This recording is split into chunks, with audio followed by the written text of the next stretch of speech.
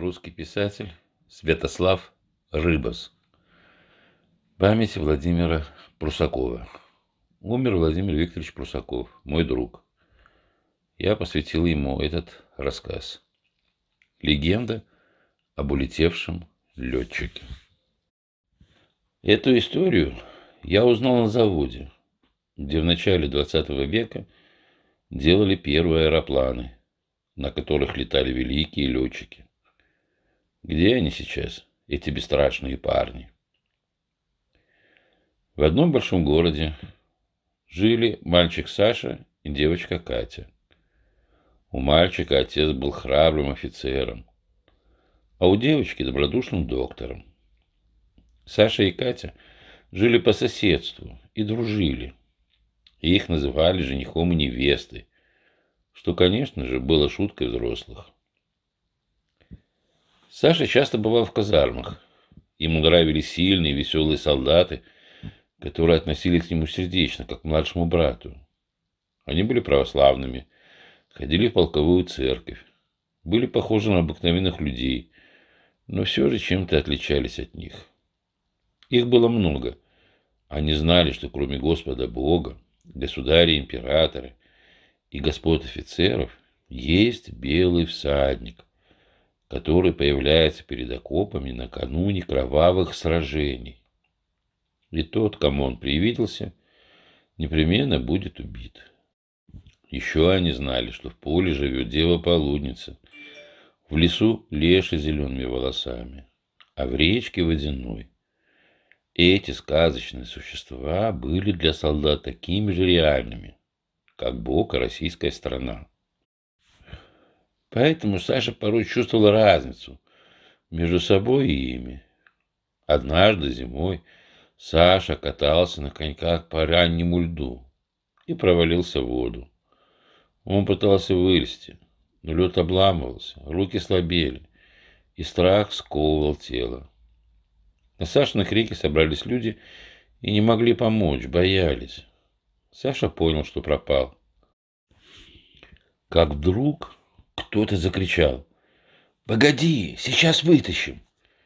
И какой-то большой солдат, скинув шинель, бросился к нему в воду. Он выдохнул Сашу на лед. Мальчика подхватили, уволокли подальше от разлома. Солдат же не смог выбраться, и никакими ремнями его не удалось вытащить. Лед крошился и ломался. Пока бегали за пожарными баграми и лестницами, Солдат утонул. Саша сильно заболел. Катин отец лечил его. Приходил священник. Саша должен был умереть. Но в горячем тумане вдруг увидел, как Катя молится за него перед иконой Иверской Богоматери и предлагает отдать свою жизнь взамен Сашиной. И Саша не умер. Но для чего он остался жить? После этого случая Саше было очень совестно перед солдатами и перед Катей. Ведь это он был виноват в гибели человека. Он собрался с духом и спросил отца, что ему делать. Отец ответил Саше так. «Все мы когда-нибудь умрем, Александр. Было бы за что и за кого. Он отдал свою жизнь за тебя. А ты тоже можешь ее отдать за кого-то. На все Божья воля.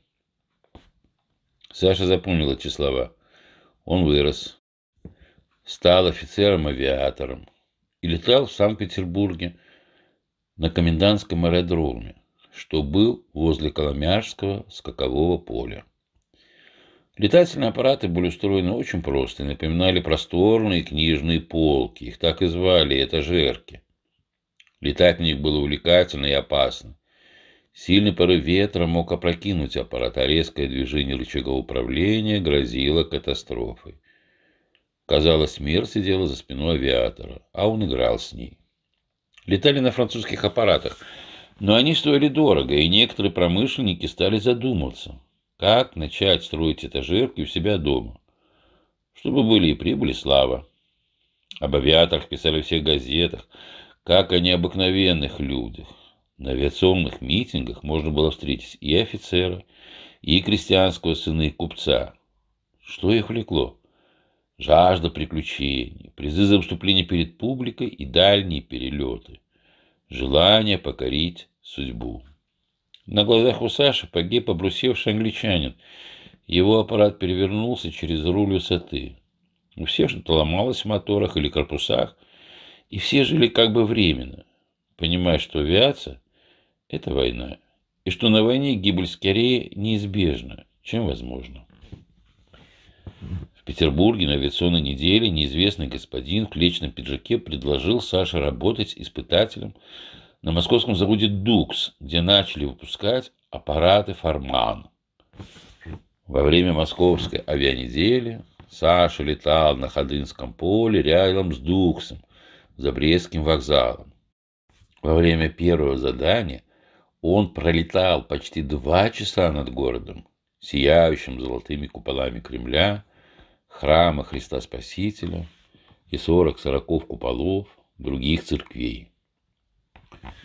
Потом надо было демонстрировать точность бомбометания, со 100-метровой высоты бросить три апельсина в 50-метровый круг, затем передать депешу в штаб, стоявший в селе Хорошеве, и взорвать склад с боеприпасами, опустившись рядом с ним и тотчас взлетев.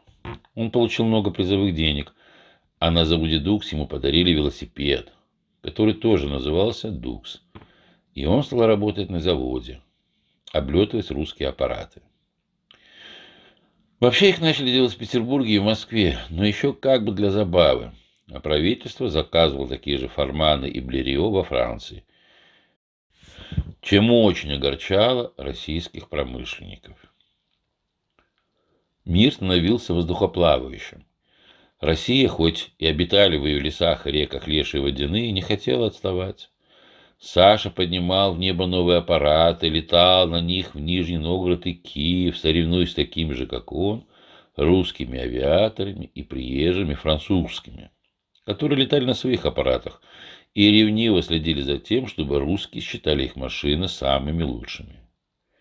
Для Саши французы были товарищами, но однажды, когда он слегка разбился при посадке, Французы не разрешили ему поменять мотор, так как это, по их мнению, не отвечало духу соревнований. И Саша был вынужден отступить.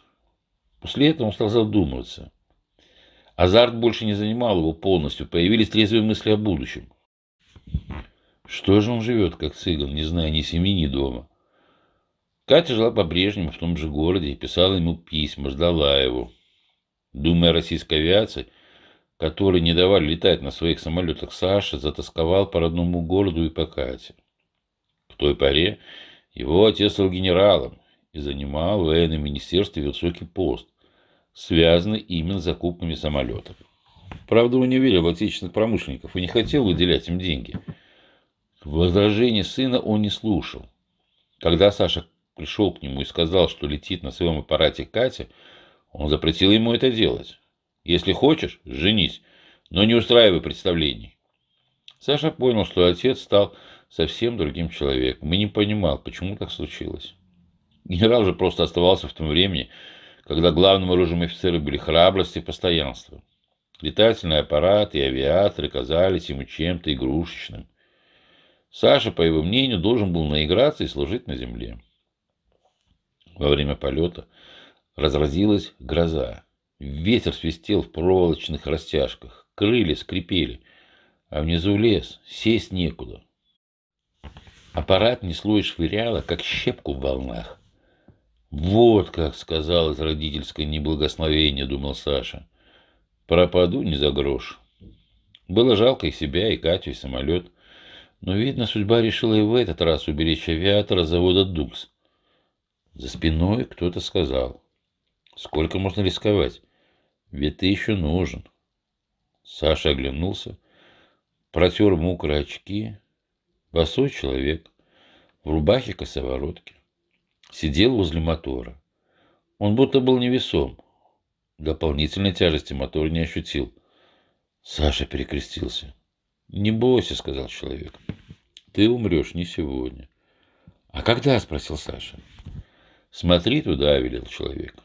И Саша увидел небывалый огромный город со знакомым Кремлем в центре, похожий на Москву, но без чудесного храма Христа Спасителя и без многих золотых куполов. Дождь прекратился, тучи развеялись, выглянуло солнце. За фантастическим городом в небе появились три странных летательных аппарата, напоминающие стреловидные треугольники. Они неслись друг за другом. Первый вдруг летел над другим и, очертив круг, тотчас догнал их и пристроился сзади. «Вот этот твой самолет побеждает французский самолет и американский», — сказал человек. «Так случится через много лет, когда тебя самого уже не будет на этом свете. Но ты превратишься в этот истребитель». «Что означает этот сон?» — спросил Саша. «Помнишь, отец говорил тебе, что помирать не страшно. Было бы за что и за кого. Вы все погибнете. И отец, и ты, и Российская империя. А потом возродитесь. В этом вся загадка русской жизни. Прощай. Сказав это, человек косоворотки исчез. Саша догадался, что это был тот солдат. Исчезли и город, и необыкновенные самолеты. Внизу по-прежнему простирался лес. Саша вспомнил солдатские разговоры о лешах и белом всаднике, но на душе было спокойно. Внизу открылась широкая серебристая лента, зеленые купола монастыря, красная пожарная каланча, блестящие мокрые мостовые.